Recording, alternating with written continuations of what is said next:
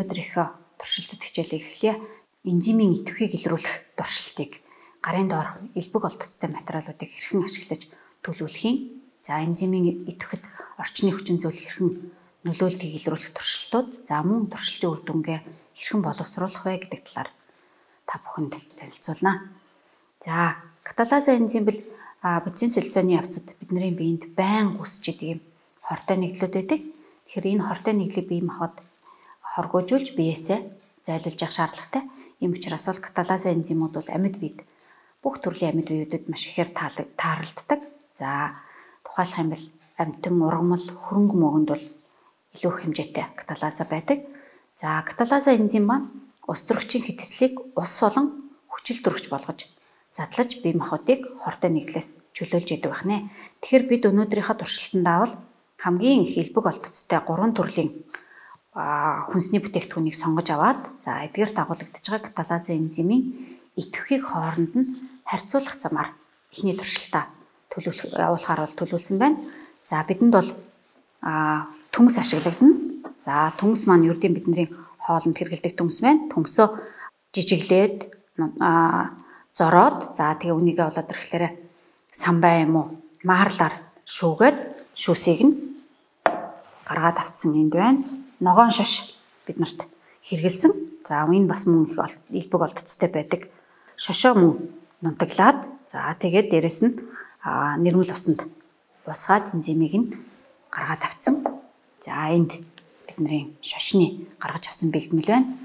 За мөн малын илгийг ашигласан ямар ч төрлийн малын илэг үүнд ашиглаж болно. Эдгээрийг бэлтгэхдээ бол ерөнхийдөө бол 45 г ногоонд төмсөнд байж болно тийм ээ эсвэл шошид биш бас ялгаа байхгүй адилхан 45 грамыг жигнж аваад дээрэс нь нэг 75 мл ус хийхэд бол энэ экстрактуудыг гаргаж авч авсан байгаа юм.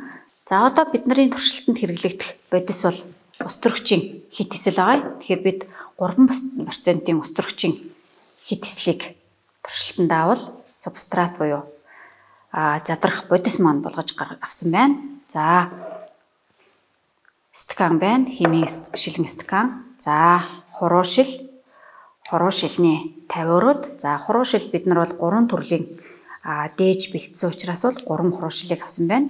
Болж өгөл хуруушилнууд маань ижил өндөртэй, ижил диаметртэй байх юм бол туршилтын үр дүнг илрүүлэхэд бас их тохиромжтой байдаг.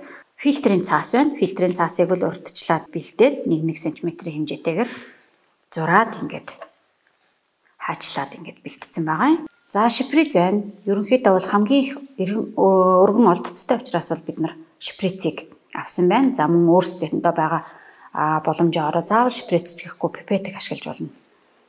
Секундын хэмжилттэй цаг байна. За секундын хэмжилттэй цагаар бол бид тухайн энзимийн идэвхийг илрүүлэх гэж байгаа учраас бол харьцуулт хийхэд бол энзимийн идэвхээс шалтгаалаад бол цаасны хөвж дээшээ гарч ирж байгаа хурдыг хугацааг секундын хэмжилттэй цагийн тусламжтайгаар бол хэмжинэ.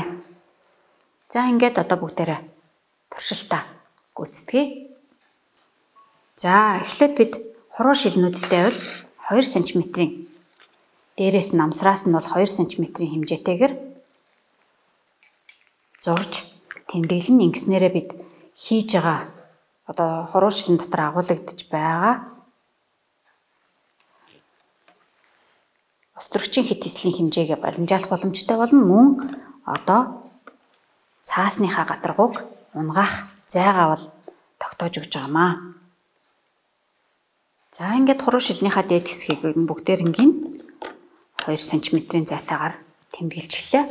Одоо бол хуруу шилнүүдийн хооронд нь одоо тус бүрд нь өөр өөр дээж хийх гэж байгаа учраас андуурахгүй байхын тулд тэмдэглэе. За тоогоор тэмдэглэчээ.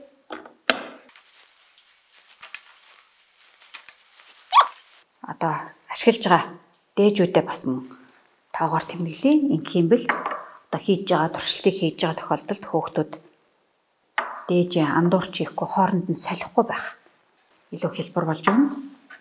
За ус төрөгчийн хит хэслийг стаканд хийгээд за үүнээсээ бол шпризер саруулаад хуруу шилнүүдтэй хийнэ. За. шприцийг бид нар одоо тухайн зүйлийг соруулж авахтаа бол яг ихц босоо соруулж авах юм бол хий орохгүй сайн талтай. За ингээд нийтдээ бол 10 см штэй. 10 см-гүй буюу 10 мл-ийг саруулж авлаа.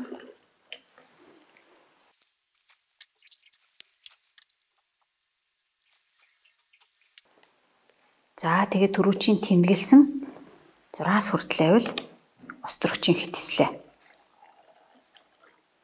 3 хуруу шилэндээ ижил хэмжээтэй хийнэ. За ингээд острогчийнхаа хитслийг хуруу шилэндээ а бидний тэмдэглэсэн хэмжээс хүртлээвэл ижил хэмжээтэйгээр хийлээ. За фильтрийн цаасаа цаасанда энзим шингээж авна. За ингээд а энзим шингээсэн цаасаа хуруу шилтэй өстрөгчийн хит эслрүүгээ тусаагаад тэгээд цагаа харнаа. За бид энзим шингээсэн цаас маань дээшээ хөөрч гарч ирж байгаа хугацааг тэмдэглэж авлаа. За эхний дээж маань төмөс байсан. За төмсөн дээр болоод ирэхлээр нийтдээ бол 12 секундын хугацаатай а төмс дэшинэ хөөрч гарч ирлээ. Төмсний энзим маань нэгсэндээ бол 12 секундын дотор бол ус төрөгчийн хитслийг задлснаас ус төрөгчийн хитслээс ялгарч байгаа бөмбөлөг маань дээш нь хөөж одоо гадаргуу дээр гаргаж ирсэн байна гэсэн үг байна. За дараагийн дээж маань шош байгаа тийм ээ. Шошны усмал бэлтцсэн байгаа. За үүндээ мөн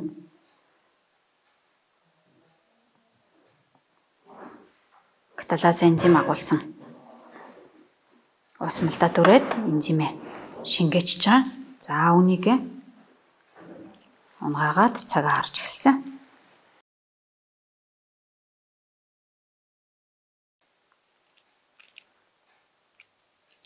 За шашных маань 1 минутын хугацаанд буюу 61 секундэд тийшээ хөөрч гарч ирлээ. За 3 дахь дээж маань малын илэгнээс гаргаж авсан каталаза энзим агуулсан дээж байгаа.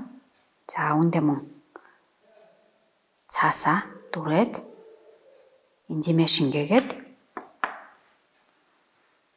за тэгээд өстрөгчийн хитсэлтэй тусаалаа. Энэ бол маш хурдан маш өндөр идэвхтэй учраас бол ерөөсөө 1 секундын дотор дошооч буулгуугаар шууд дээрээсээ дахиад дэше хөөрчлөө. За ингээд малын энэ элгэний каталаза энзим бол маш өндөр концентрацтай маш идэвхтэй байгаа учраас бол шингэрүүлт хийгээд бас хийж үзэх боломжтой. Үр дүнг нь илүү тодор харахын тулд бол шингэрүүлт хий. За 50% шингэрүүлт хийж үзье. Үүний тулд за элэгнийхээ малын элэгнийхээ каталаз агуулсан дээжнээсээ за 5 мл-ийг аваад за 50% шингэрүүлэлт хийж байгаа учраас дээрэс нь мөн адилхан 5 мл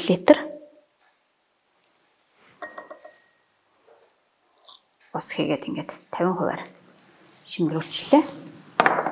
За ингээд тал хуваар нь шингэрүүлэлт хийсэн каталаза энзим агуулсан дээжээ. За хийлээ. За 3 секундын хугацаанд дэшээ гарч ирсэн байна. Хөвж гарч ирж байгаа хугацаа маань. За тэгэхээр эндээс бид 3 төрлийн дээжинд дагуулгдж байгаа каталаза энзимийн концентрацийг харьцуулан харах боломжтой харлаа. За үүнд бол төмсний каталаза энзим маань 12 секундын хугацаанд бол дээшээ цаас манд хөвж гарч ирсэн. За шошных бол 61 см секунд.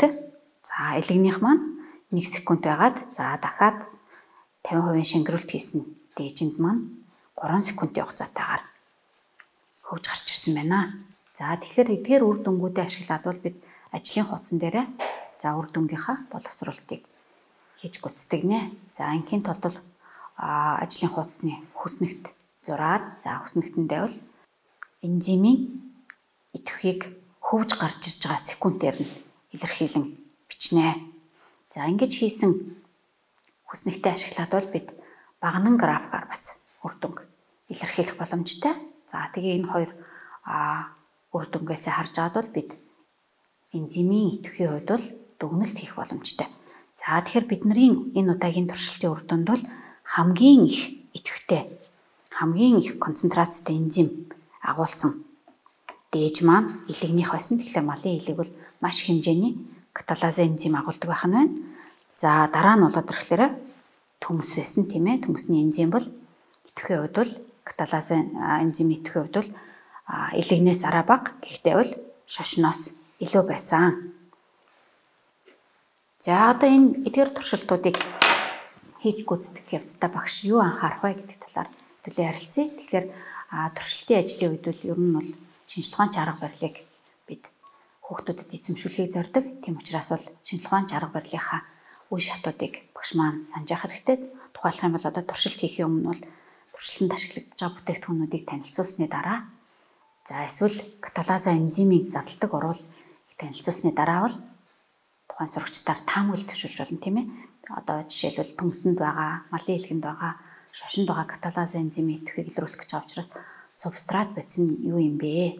За эсвэл яагаад бид секундын хуваартай цагаар үр дүнг хэмжих гэж байгаа юм бэ гэдэг ч юм уу ийм а тухайн туршилтанд гарах одоо туршилтын үр дүнтэй холбоотойгоор бол юм сэтэлжүүлсэн асуултуудыг тавиад бол таамаглал төвшүүлж болох нь байна тийм ээ. За хэрвээ тухайлах юм бол 1 1 см куб хэмжээтэй удаг цаасыг гэд бэлтгэсэн байгаа тийм ээ. Энэ цаасны хэмжээ арай жижиг байгаа тохиолдолд явах вэ? Эсвэл инээсээ арай том байгаа тохиолдолд явах вэ гэх зэргээр бол урлын хурдад бол хэрхэн нөлөөлж болох вэ? Энэ гадаргуугийн талбай гэсмээр туршилтын өмнө бол таамаглалыг төвшүүлэх боломжтой. За, за мөн энэ туршилтыг цааш нь багш одоо урлын идэвхэд орчны хүчин зүйлүүд хэрхэн нөлөөлж байгаа юм бэ гэдгээр цааш нь баяжуулаад хийх боломжтой.